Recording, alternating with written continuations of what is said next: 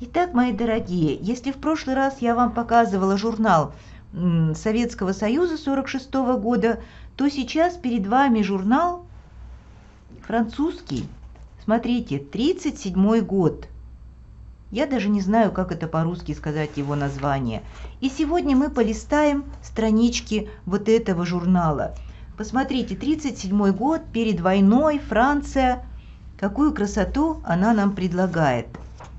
Ну вот уже, пожалуйста, тоже моя любимая тема. Блузка какая-то, а лацканочки сделаны из, одно, из одной ткани одного цвета, да, Э, однотонный другого цвета идет костюм, подкладочка видно, что сделана из такой же ткани, как сделана блузка. Ну разве сегодня вот мы не можем при, с вами применить вот такую идею? Посмотрите, как это красиво, как это достойно, как это элегантно во всех отношениях. Давайте полистаем. Вот такая вот деталь, посмотрите, какая интересная, да? Вот так вот кокеточка какая-то отлетная, кругленькая, и она еще переходит вот таким вот интересным вот таким вот интересным кокелье сюда, да, рукавчик с головкой, что сегодня тоже очень актуально. Сегодня опять широкие плечи, опять расклешенные могут быть рукава. Ну и, конечно, снова все в талию, снова все в талию. Манишка, про которую я говорила вам в прошлый раз.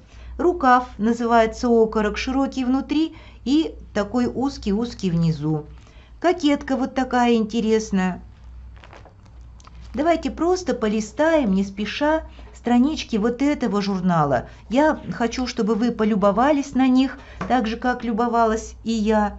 Задержаться немножко вот на этих картинках, чтобы мы могли разглядеть какие-то детали. Ну, конечно, видите, как всегда, все худенькие, 37 год в моде. Хороший плечевой пояс, расширенный плечевой пояс, рукава и везде каждый костюм дополняется шляпкой. Когда мы к этому придем? Мне тоже хочется, чтобы мы носи, снова научились с вами носить шляпки. Как же все-таки это красиво. Так, что здесь? Что здесь мы можем посмотреть? Посмотрите сюда, посмотрите вот на такие вот детали, какая интересная тоже у нас, я даже не знаю, как это назвать, рельеф какой-то, да, проходит сюда. Вот, просто посмотрите и полюбуйтесь на эту красоту. Платьице в клеточку. Опять вот такие широкие рукава. Обращаю внимание ваше на то, что и вы обращаете внимание. Если мы широкий делаем плечевой пояс широкими рукавами, то все остальное делается узенькое. Не делается широко и вверху, и внизу. Это, ну, можно сказать, наверное, мавитон, да? То есть, если на каком-то месте на фигурке мы с вами себя расширили, то на другом месте нам надо обязательно себя сделать поуже. Посмотрите, вот это ли не идея для сегодняшнего дня, когда у нас ушли в прошлое э, наши норковые шубы, да, все всевозможные, все-таки это какой-то вчерашний день, да, хотя мы живем в такой стране, что холода у нас все-таки неизбежны, мы можем шить себе зимнее пальто и украшать это зимнее пальто каким-то мехом, каким-то интересным мехом. Ну, кто-то норочкой его украсит, кто-то искусственным мехом вот так вот украсит. Почему, собственно говоря, нет? Почему нам ходить только в одних пуховиках? Хотя пуховики нынче сегодня, конечно, рулят.